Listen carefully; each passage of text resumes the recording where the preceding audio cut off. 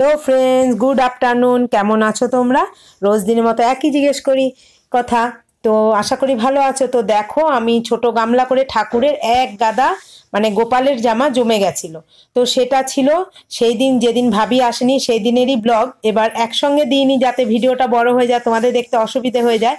ওই জন্য আমি একসঙ্গে দিইনি, শুধু বাসন মাজাটা দেখিয়েছি। আজকে দেখাবো ঠাকুরের জামা কাপড় আর হচ্ছে আমাদের জামা কাপড় ওয়াশিং তো চলো গোপালের জামা অনেকগুলো প্লাস ঠাকুরের সিংহাসনে কতগুলো কাপড় টাপড় মিলে অনেক এক গামলা ঠাকুরের জিনিস জমে গেছে, ছোট এক গামলা। তো সেগুলো আগে কেচে নিচ্ছি, তারপর আমি যাব আমাদের জামা কাপড়ে হ্যান্ড ওয়াশিং করতে। তো চলো ঠাকুরের জামা কাপড়গুলো অলরেডি আমি সার্পে আগেই ভিজিয়ে দিয়েছি, তো এখন কচলে কচলে ঠাকুরের জামা কাপড় আলতো করে ধুয়ে নেব। তো চলো দেখতে থাকো।